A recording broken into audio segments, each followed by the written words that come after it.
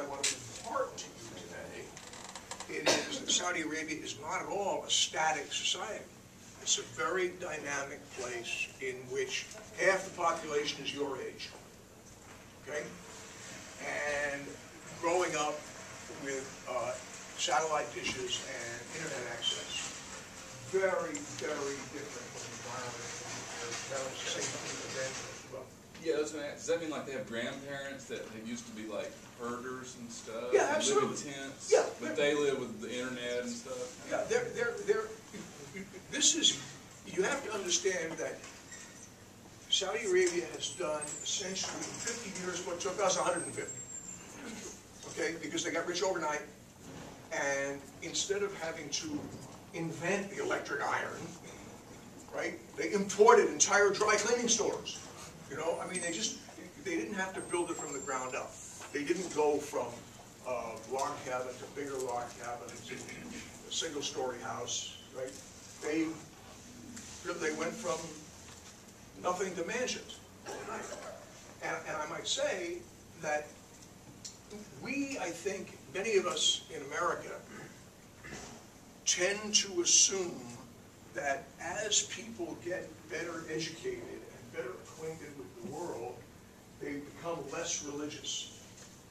That's not necessarily a valid assumption in a place like Saudi Arabia, because the physical transformation has been so dramatic and spectacular, and the pattern, the centuries-old patterns of life in which you lived in a small community watched over by your grandmother and the village imam have been blown away by urbanization and progress in this development of the cities.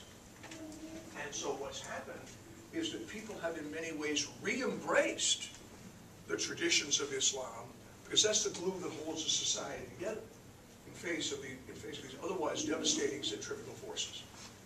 Um, so understand now that uh, Saudi Arabia is what I call a grown-up country. It's not preserved in some religious amber. Aside from the from the clothing, if you went there, what you would see is people taking their kids to school and getting stuck in traffic, and going to the market and shopping at McDonald's, and uh, grumbling about security procedures at the airport, just like people everywhere. That's what they do.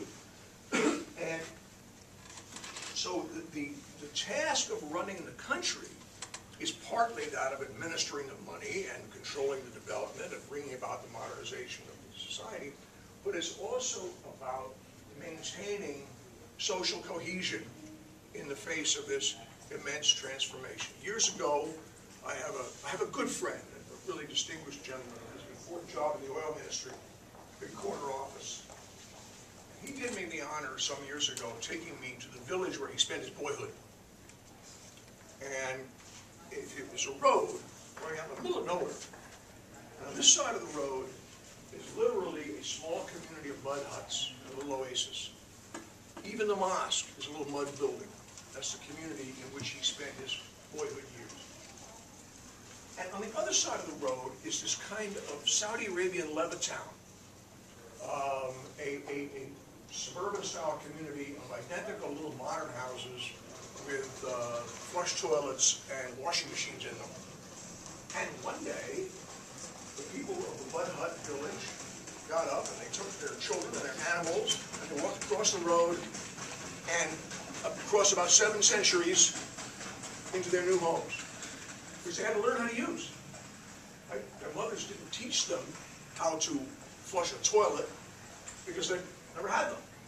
They had to learn all this. And it was extremely disruptive of patterns of life that these communities had clung to for centuries. The whole country, in effect, did this virtually overnight. And so the forces of social cohesion, the monarchy, and the faith become more valuable rather than less in the face of these disruptive forces brought about by economic and material change.